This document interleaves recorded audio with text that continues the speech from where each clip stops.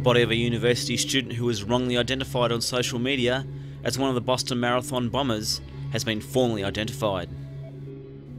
Sunil Tripathi disappeared in March, and in the aftermath of the bombings became the focus of speculation, as the crowd scouring users of Reddit identified him as the white-hatted suspect wanted by investigators.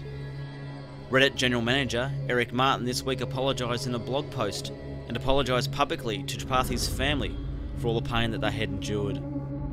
A Rhode Island Health Department spokeswoman said the body of the 22 year old Tripathi was identified through a forensic dental exam. The cause of death has not been determined.